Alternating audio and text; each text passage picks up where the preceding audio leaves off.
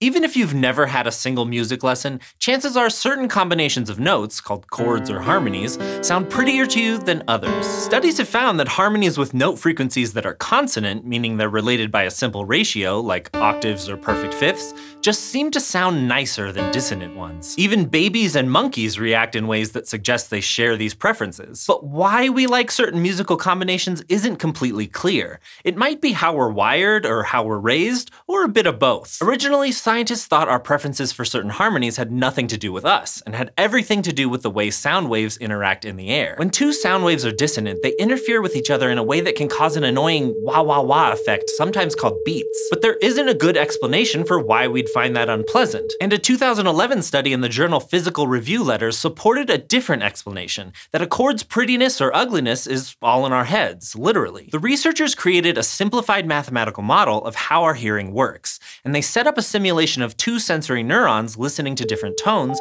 which would each send a signal to a third neuron when stimulated. Kind of like how different hair cells in your ears hear different pitches of sound and send a signal to your brain. And the team found that if the two sensory neurons hear what we'd normally call a pretty harmony, their signals arrive at the third neuron at the same time, and the neuron fires once in response to the combined sound. While you're holding the chord, that neuron has time to recharge and send a regular series of pulses. But if it's a dissonant chord, the signals from the two sensory sensory neurons arrive at different times, resulting in an irregularly spaced train of pulses. So the researchers suggest that what we think of as more harmonious just means the sound causes a more regular neural pattern. According to information theory, the mathematical underpinnings of communicating information, regular signals like these communicate more information than each irregular signal does. So it could be that we think they sound better because our brains are able to distinguish and remember those signals more easily. But even though the idea makes sense, the researchers didn't actually test real neurons in real people, and and the most recent evidence suggests that musical preferences are more strongly tied to cultural influences. In 2016, researchers surveyed a group of 64 people from the Tsimane,